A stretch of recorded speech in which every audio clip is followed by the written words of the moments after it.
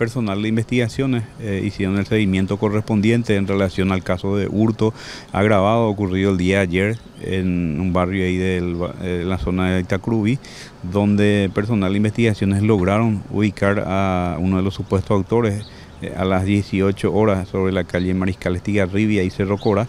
Se trata de Fran William Colmán Martínez, paraguayo soltero de 18 años. De esta persona se logró la recuperación de la computadora personal de la marca Acer que había sido denunciada como hurtada por la víctima Cecilia Ayala el día de ayer. Posteriormente se procedió a la aprehensión de Sergio Daniel Portillo Díaz, paraguayo soltero de 23 años, domiciliado en el barrio San Antonio.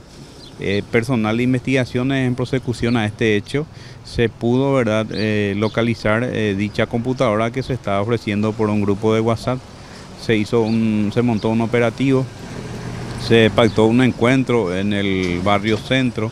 en un momento dado llegó esta persona con la computadora portátil en compañía de la víctima quien revisó la computadora constatando efectivamente que se trataba del mismo.